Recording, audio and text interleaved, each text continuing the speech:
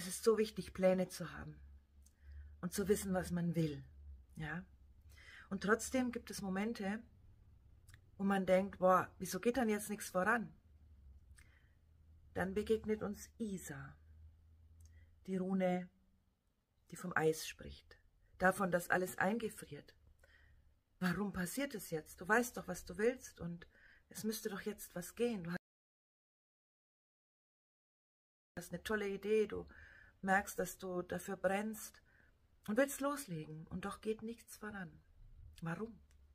Nun, weil irgendetwas von dir noch nicht wirklich dabei ist, weil etwas noch braucht, um ganz zu werden in dir für diese Idee oder diesen Weg, den du einschlagen willst. Gib Isa die Zeit. Sei geduldig, konzentriere dich aufs Wesentliche, auf das, worum es dir zutiefst geht. Spüre rein und guck, was noch nicht ganz, ja, wo du noch nicht ganz überzeugt bist oder wo Ängste da sind. Besonders alte Ängste, Ängste aus alten Leben, aus der Vergangenheit, ja. Guck das genau an und wenn du das gesehen hast, dann wirst du spüren, dass es weitergeht. Denn dann ist es Zeit, deinen Traum zu weben.